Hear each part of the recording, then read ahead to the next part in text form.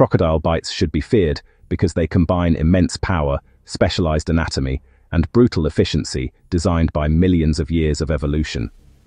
Crocodiles possess the strongest bite force of any living animal, capable of exerting over 3,000 pounds per square inch. This crushing strength allows them to shatter bone, clamp down with unstoppable pressure, and instantly disable prey. Once a crocodile locks its jaws, escape becomes extremely unlikely. Beyond raw force, crocodile teeth are built for destruction.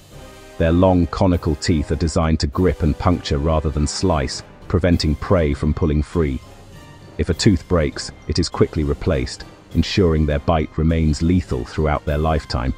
Their jaws snap shut with explosive speed, often catching victims before they realize the danger is present.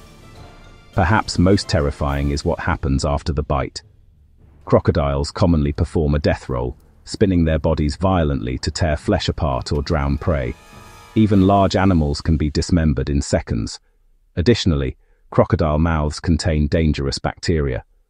Bites that aren't immediately fatal often lead to severe infections, making medical treatment difficult and time-sensitive.